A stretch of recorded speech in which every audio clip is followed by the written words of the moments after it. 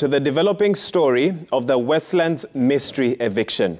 Detectives from the Directorate of Criminal Investigation have begun investigations into the disputed one acre prime parcel of land located along School Lane in Westlands, Nairobi.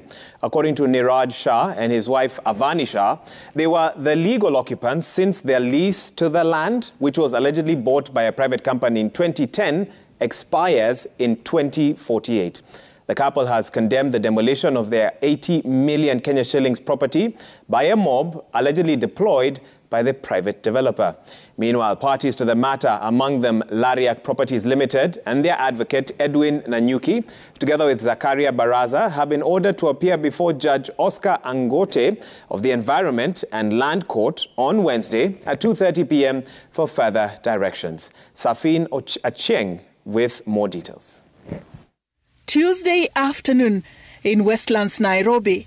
Even on Sunday. A devastated Niraj Shah and his wife Avani Shah show me what has been left of their home. I used to call this a home until Friday morning. And today, I can't even call it a home. It's a shamble. For over 40 years, the Shahs have called this home a property worth about 80 million shillings, which now looks nothing close to its former self you know, it's questionable because my father had renewed this lease in 1998 and is valid for 50 years. So it's going to expire in 2048. And they claim they bought the land in 2010. So we're questioning bought from who? How? How did they do it? How did they transfer the land to themselves? It's a bit calm today, still heavily guarded by the police, a contrast of the tension that was witnessed here for the last four days, which saw the Shah's home brought down by a mob allegedly deployed by a private developer who is laying claim over the one acre parcel of land located along School Lane. According to Avani Shah, a man named Zachary Baraza showed her a document purporting that a private company named Lariak Properties had bought the land from Metro Pharmaceuticals in 2010.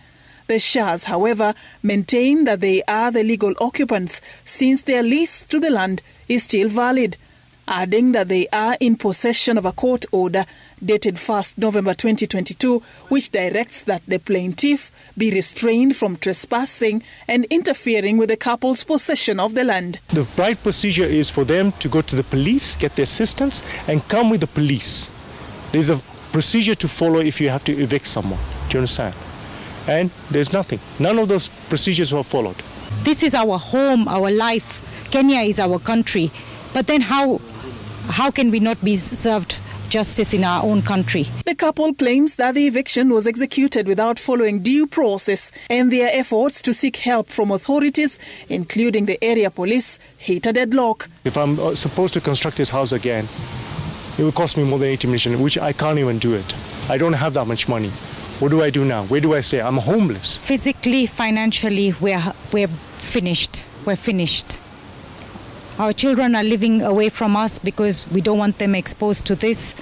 They're totally heartbroken. I don't even know how how they they're going to even get on with life. As such, by the Registrar of Companies shows that Lariak Properties was registered in 2002 and has four directors, namely Nathaniel Kipkemboi Bar Masai, Samuel K. Chepkwony, John Kamayoa Rotich, and Joel Kiplangat, who sources say are connected to a high profile person. Our efforts to speak to the officers from the Directorate of Criminal Investigation who were present proved futile, and we only managed to establish that they were there to commence investigation into the land saga.